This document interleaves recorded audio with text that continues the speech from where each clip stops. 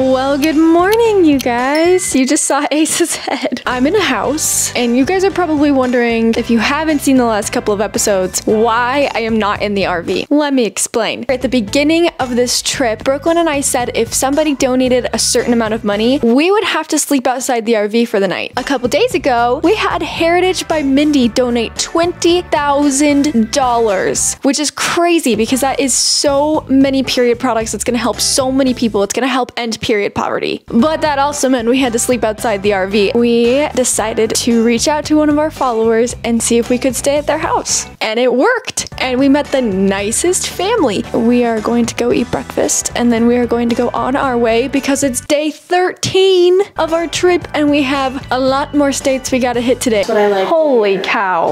When I say I slept like a rock, I mean like I literally flipped the covers back and when I woke up, I hadn't touched or moved any other part of the bed, which means I had just lain in the exact position I fell asleep in. Oh. How was y'all's night? It was quiet. It was really quiet.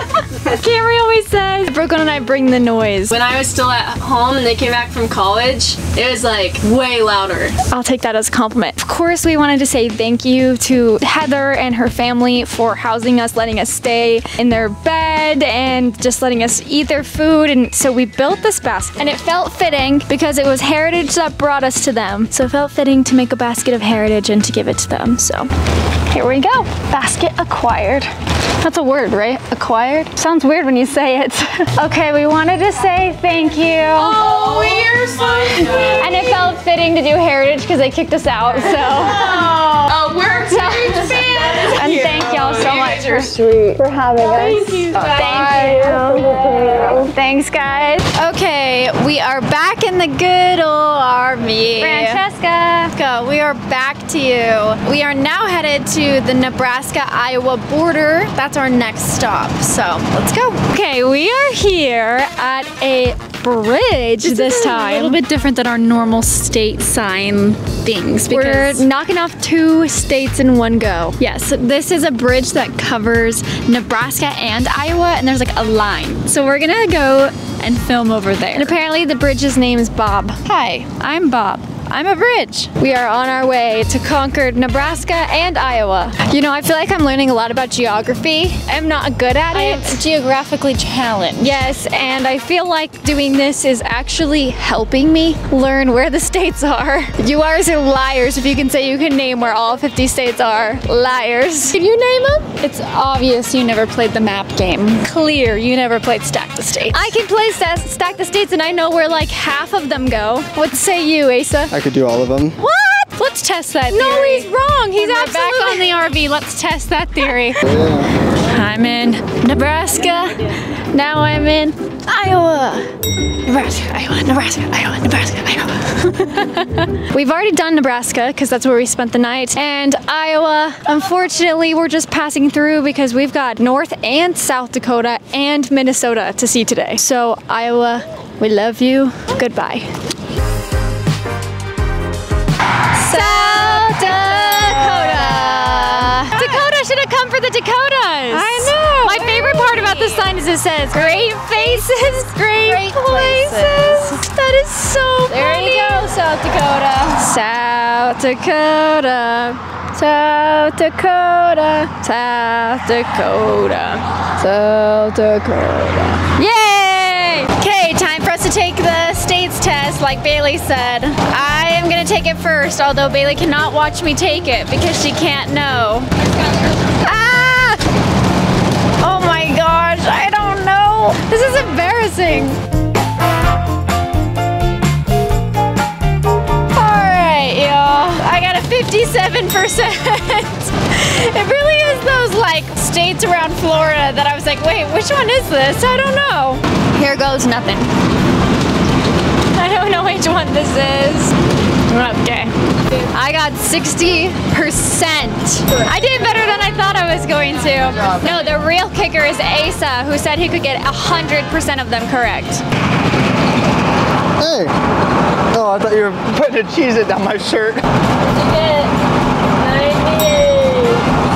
I chose the wrong one for Wyoming. This is my score. They're also sad about it. They're ignoring the fact that I just crushed them. We are in South Dakota and we are at Sioux, I think is how you say it, Sioux Falls. So apparently this is like a, a really beautiful site here in South Dakota and so we thought we'd come in and check it out.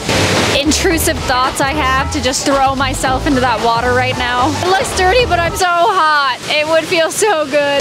Just before anybody comes for us, we are coming back to Mount Rushmore. just, just stay tuned. But for now, Sioux Falls. Said if you lay down right here and you sit in the sun, you'll sizzle and be a human piece of bacon. it's so hot. I don't even know what I'm saying. Oh, the cartwheel saga. I thought this was an interview saga. They don't even know. Ooh, they don't even know.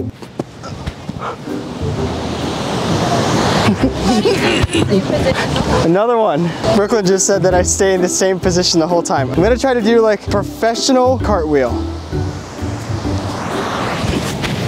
Is that better?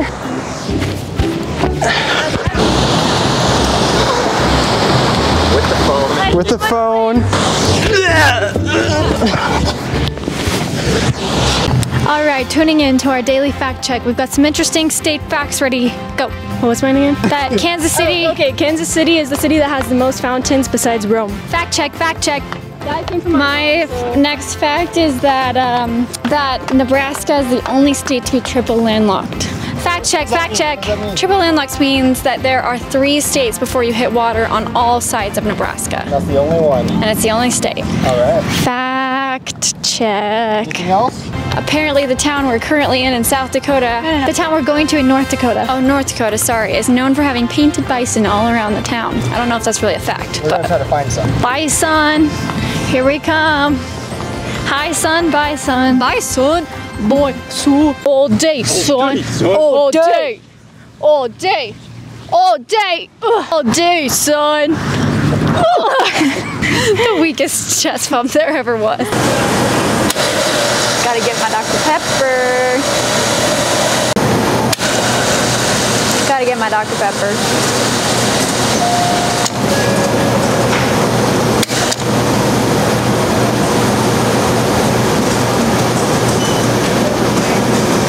Uh, if I'm gonna be totally honest with you guys, we were so busy yesterday I didn't get my Dr. Pepper. So I filmed two clips for today's video to make up for it. And I put on a jacket to pretend like I'm in a different outfit. There you go, we're not gonna run out of water anytime soon. How do I always end up in this position? Nobody knows what's happening here. And I think they're trying to do a TikTok, and I don't think it's working out.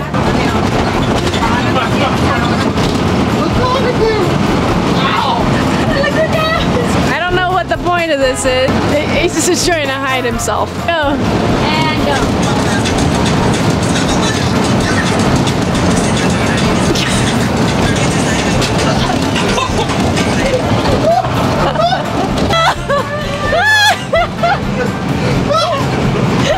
Uh, This was not a smart idea. North Dakota. Sang before me. North Dakota. North Dakota. Anyway, we are stopping in a place called Fargo. I think we're gonna try and pop in for some dinner, see some fun things. North Dakota, here we come. Where's Dakota when Where's Dakota? Dakota magic. Okay, here's Asa watching the daily vlog. I love that you watch them. I love watching them.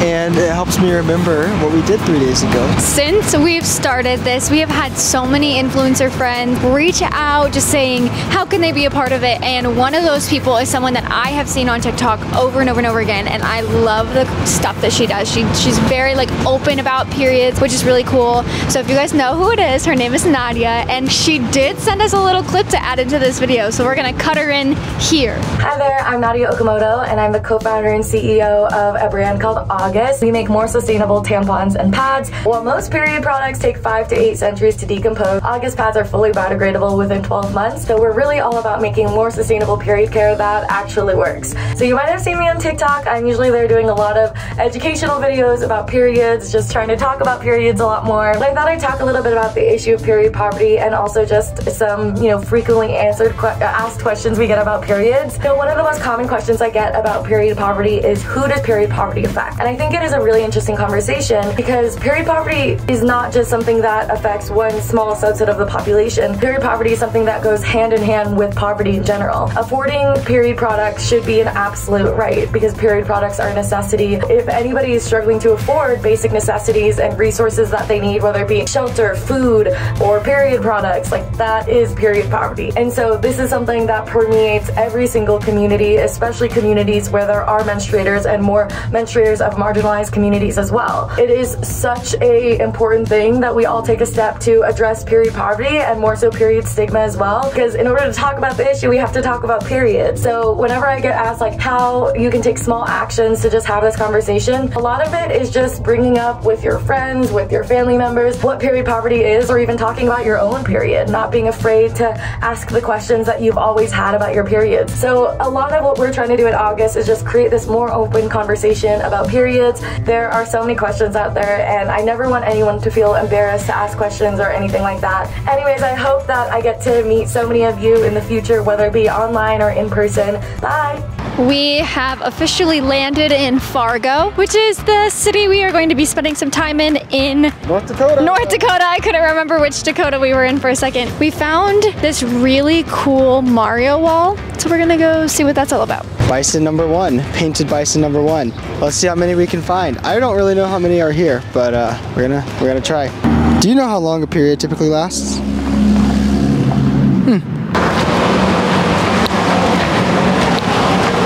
Cha-ching! Cha-ching! Mario and Luigi! That was pretty good. Wow, Lisa. Let's go! Oh my gosh, that was so good! So just like them. Out here in actual wild, we've got Asa McKnight Howard posing on the Mario wall in Fargo, North Dakota. Ooh yeah, ooh yeah, ooh yeah, yeah. So, do you know what period poverty is? Yes, I did a speech about it in school Tell me last about year. it. Oh, it's just like how period products are taxed more than other products, and a lot of women can't even afford them. And there's a shortage right now. Name as many tampon slash feminine product brands as possible in 30 seconds. Three, two, one, go. Tampax, Playtex, Playtex. Tampax Radiance. Oh, um, oh, the Diva Secret, um, Diva- Uva, I don't know the or brand. Uva, whatever. Um, it's a I don't know Target the brand. brand. Uh, I don't Yeah, know. I don't know I think anymore. that's all. Time. Nice. I'm chewing my brownie. Can I actually put hot This is so good. It had good ratings. We wanted to try it. This is simply my life motto. Ice cream solves everything. Don't argue with me. It's true. Okay, so we have officially finished up in Fargo, which means we are done with North Dakota. Um, we are gonna drive next to the Minnesota border. We're not spending much time in Minnesota, unfortunately, but we're coming to see your state sign. That was unexpected. I sincerely apologize for that interruption. Anyway, we only got to see. I never burped to us, Brooklyn. It's true. But you got it on video, a rare occurrence. I only got to see one bison, so we were sad because there's apparently like 30 something of them in the city of Fargo. Also, the city of Fargo is apparently the biggest city in North Dakota. Fact check. North Dakota, where are you at? Because that was not that big of a city. On we go to Minnesota. Minnesota. Minnesota. These songs are getting progressively worse and worse as we go. Minnesota! And this is the coolest sign so far, I think. I'll take a Minnesota. Minnesota. We love you, but we're coming and going because we got more driving to do. Goodbye, Minnesota. He's done this at every state line. every single one. Well, hello. Hello. Finished up in Fargo and we ended up having a little bit longer drive than we thought because we have a very fun activity happening tomorrow. So we decided to do some late night driving. Um, we're all very tired and it's time for donation. Looks like today we hit $134,500. That is so awesome. And of course, this is all from you guys. So just keep donating. The more you donate, the more we can help people. You guys can donate in the link in our description box, or you can just subscribe to our channel and we'll donate on your behalf. And we did create a new goal. We want to try to hit 200,000 before the end of our trip. So we'd love to see those donations keep coming in. It just goes to help a ton of people. And we'll have to get tattooed. If we hit 200,000, we do get tattoos. So, uh, go donate. Go We'll donate. see. And since we have such a late night, this is going to count as our good night for the night. We will see y'all in the morning. Good night, y'all.